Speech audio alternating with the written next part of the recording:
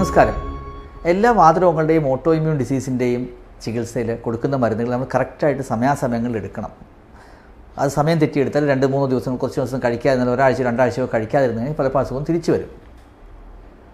പക്ഷേ ഒരു ഇഞ്ചക്ഷനുണ്ട് ആ ഒരു ഇഞ്ചക്ഷൻ എടുത്തു കഴിഞ്ഞാൽ ആറ് മാസത്തേക്ക് എട്ട് മാസത്തേക്കോ അസുഖം മാറി നിൽക്കും. എന്താണ് ആ ഇഞ്ചക്ഷൻ അതിനെക്കുറിച്ചാണ് നമ്മൾ സംസാരിക്കാൻ പോകുന്നത്. ആ ഇഞ്ചക്ഷന്റെ പേരാണ് റിറ്റുക്സി മാപ്പ് റിറ്റുക്സി മാപ്പ് ഇത് നമ്മുടെ ശരീരത്തിൽ ഇമ്മ്യൂൺ സിസ്റ്റത്തെ അതായത് പ്രതിരോധ ശക്തിയിലേക്ക് ഉണ്ടാക്കുന്ന പ്രതിരോധ ഈ രണ്ട് തരത്തിലുള്ള കോശങ്ങളാണ്. ടി കോശങ്ങളും ബി കോശങ്ങളും.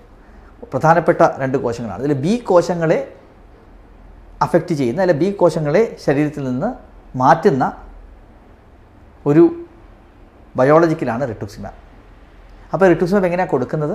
അത് ഐ വി ഇഞ്ചക്ഷനായിട്ടാണ് കൊടുക്കുന്നത്. നമ്മുടെ ഞരമ്പുകളിലൂടെയാണ് ഇത് കൊടുക്കുന്നത്. അപ്പോൾ ഞാൻ നേരത്തെ പറഞ്ഞു ഈ ടി കോശങ്ങളും ബി കോശങ്ങളുമാണ് നമ്മുടെ ശരീരത്തിന്റെ ഇമ്മ്യൂൺ സിസ്റ്റത്തെ ഉണ്ടാക്കിയിരിക്കുന്നത്.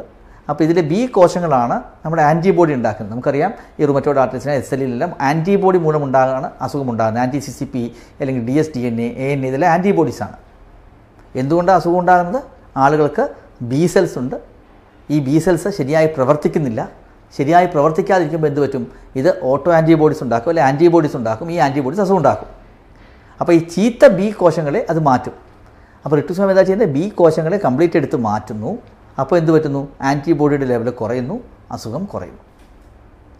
അപ്പോൾ റിട്ടുക്സിമാബിന്റെ ഗുണം എന്താണ്? ഈ ബി കോശങ്ങളെ മാത്രമേ അത് മാറ്റത്തുള്ളൂ. അപ്പോൾ റുമറ്റോഡ് ആർട്ടൈറ്റിസിൽ എസ് എൽ ഇയിൽ വാസ്കുലൈറ്റിസിൽ അതുപോലെ മയോസൈറ്റിസിൽ ഓൾമോസ്റ്റ് എല്ലാ ഓട്ടോ ഇമ്മ്യൂൺ ഡിസീസിലും വളരെ എഫക്റ്റീവായിട്ടുള്ള ഡ്രഗാണ് ഈ റിട്ടുക്സിമാബ് എന്ന് പറയുന്നത്. പലപ്പോഴും ഈ ബി സെൽസിനെ നമ്മുടെ ശരീരത്തിൽ നിന്ന് എടുത്ത് മാറ്റുന്നത് കൊണ്ട് ഇതിന്റെ എഫക്റ്റ് കുറേ നാളത്തേക്ക് നീണ്ടു നിൽക്കും. അതായത് സാധാരണ നമ്മൾ ഞാൻ നേരത്തെ പറഞ്ഞു ബി സെൽസിന് കംപ്ലീറ്റ് മാറ്റി കഴിയുമ്പോൾ കുറച്ച് കഴിയുമ്പോൾ ബി സെൽസ് തിരിച്ചു വരും. എപ്പോഴാണ് തിരിച്ചു വരുന്നത് ആറ് മാസത്തിലോ എട്ട് മാസത്തിലോ ഒക്കെ ആയിരിക്കും ബി സെൽസ് തിരിച്ചു വരുന്നത്. ചില ആളുകൾ എന്ത് പറ്റും?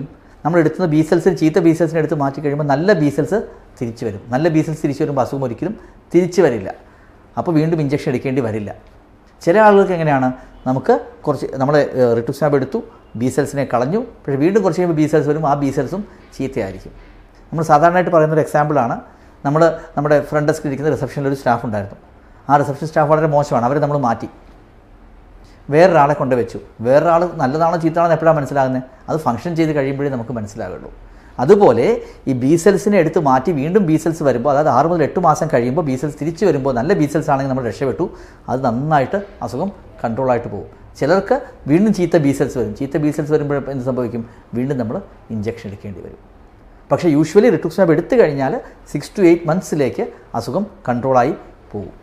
ഏതൊക്കെ അസുഖത്തിന് യൂസ് ചെയ്യാം? നേരത്തെ പറഞ്ഞ റുമറ്റോഡ് ആർട്ടൈറ്റിസിന് യൂസ് ചെയ്യാം എസ് എൽ ഇക്ക് യൂസ് ചെയ്യാം മയോസൈറ്റിസിന് യൂസ് ചെയ്യാം വാസ്കുലൈറ്റിസിന് യൂസ് ചെയ്യാം. ഓൾമോസ്റ്റ് അപ്പോൾ ഓൾമോസ്റ്റ് എല്ലാ ഓട്ടോ ഇമ്മ്യൂൺ ഡിസീസിനും ആങ്കൈലോസിൻ സ്പോണ്ടിലൈറ്റിസ് ഒഴിച്ച് ഓൾമോസ്റ്റ് എല്ലാ ഓട്ടോ ഇമ്മ്യൂൺ ഡിസീസിനും വളരെ ഫലപ്രദമായ ഒരു ഇഞ്ചക്ഷനാണ് റിട്ടുക്സിമാബ് എത്ര പേരിലാണ് ഫലപ്രദമാകുന്നത്? Seventy to eighty percent rough figure പറയാം. എഴുപത് മുതൽ എൺപത് ശതമാനം ആളുകളുടെ റിട്ടുസിമാബ് ഫലപ്രദമാണ്. അതെങ്ങനെയാണ് എടുക്കുന്നത്? നേരത്തെ ഞാൻ പറഞ്ഞു ഐ വി ഇഞ്ചക്ഷനായിട്ട് എടുക്കുന്നത്. ശരിക്കും റെക്കമെൻഡഡ് ആയിട്ടുള്ള ഡോസ് അഞ്ഞൂറ് മില്ലിഗ്രാമിന്റെ നാല് ഇഞ്ചക്ഷനാണ് അതായത് രണ്ടായിരം മില്ലിഗ്രാമാണ് എടുക്കേണ്ടത്. അത് രണ്ട് രണ്ട് ആഴ്ച ഇടവിട്ട് എടുക്കുക എന്നുള്ളതാണ് ശരിക്കും റെക്കമെൻഡ് പക്ഷേ നമ്മൾ കേരളം തന്നെ കുറേ റിസർച്ച് പേപ്പേഴ്സും കുറേ ഗവേഷണത്തിന്റെ ഫലമായിട്ട് നമുക്ക് അതിന്റെ സി ഡി നമ്മുടെ ലെവലൊക്കെ നോക്കും. നമ്മൾ ബി സെൽസിന്റെ ലെവൽ നമുക്ക് മെഷർ ചെയ്യാൻ നോക്കും. സി ഡി പത്തൊമ്പത് എന്ന് പറഞ്ഞ ടെസ്റ്റാണ് നമ്മളതിന് ചെയ്യുന്നത്.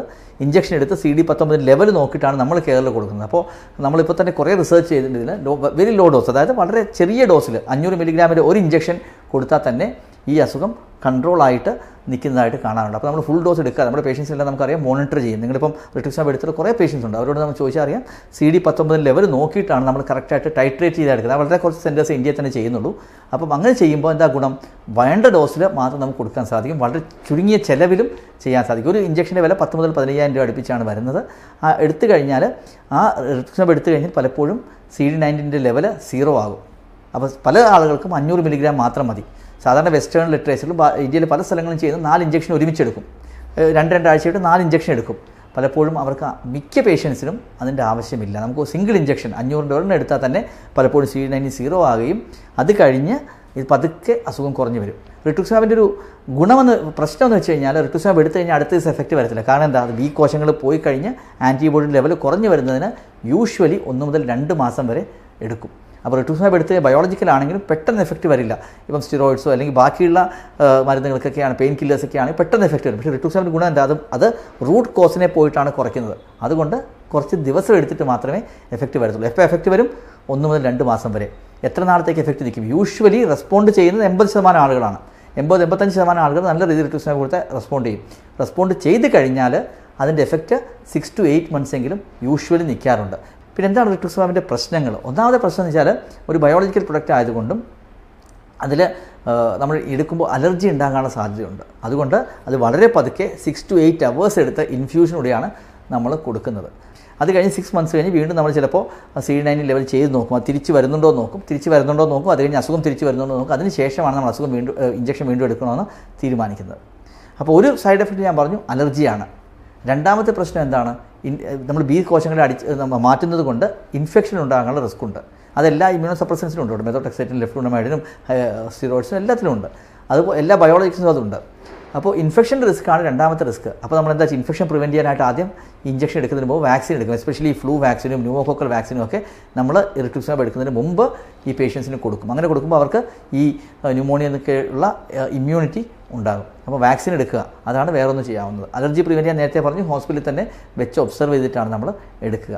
അപ്പോൾ നമ്മൾ സാധാരണ ചെയ്യുന്നതെന്ന് വെച്ച് കഴിഞ്ഞാൽ ആർക്കാ ഇത് കൊടുക്കുന്നത്? അതാണ് വേറൊരു ചോദ്യം. ഞാൻ പറഞ്ഞു ഇത്രയും അസുഖങ്ങൾ കൊടുക്കാം. റുമറ്റോയിഡിന് കൊടുക്കാം എസ് എൽ ഡിക്ക് കൊടുക്കാം. എല്ലാവർക്കും റിട്രിസ്വാബ് കൊടുക്കാം. ഒരിക്കലും കൊടുക്കേണ്ട ആവശ്യമില്ല. നമ്മൾ കൊടുക്കുന്നത് ഫസ്റ്റ് ലൈൻ ഡിസീസ് ഡ്രഗ്സ് അതായത് മെത്തോട്രക്സേറ്റോ ലെഫ്ലൂണമൈഡോ ഒക്കെ കഴിച്ചിട്ട് അസുഖം കൺട്രോൾ ആകുന്നില്ല എച്ച് സിക്കോ കഴിച്ചിട്ട് അസുഖം കൺട്രോൾ ആകാത്തവർക്കാണ് പലപ്പോഴും റിട്ടുക്സിമാബ് കൊടുക്കുന്നത്. അങ്ങനെ കൊടുത്തു കഴിഞ്ഞാൽ ഒരു എയ്റ്റി പെർസെന്റ് ആളുകൾക്ക് ഈ അസുഖം കൺട്രോൾ ആകുകയും അത് ലോങ് ടേം കൺട്രോളിലേക്ക് പോവുകയും ചെയ്യും.